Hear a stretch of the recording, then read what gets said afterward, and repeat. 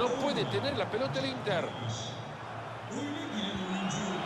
Necesitan empatar. Esta puede ser la oportunidad. ¿Está para el empate? Merecidísimo empate que llega justo cuando el partido estaba finalizando. Y la emoción en esta clase de finales de la Champions League dura hasta el final. Qué emoción, Fernando. Justo cuando se estaba por terminar el partido, llegó el empate.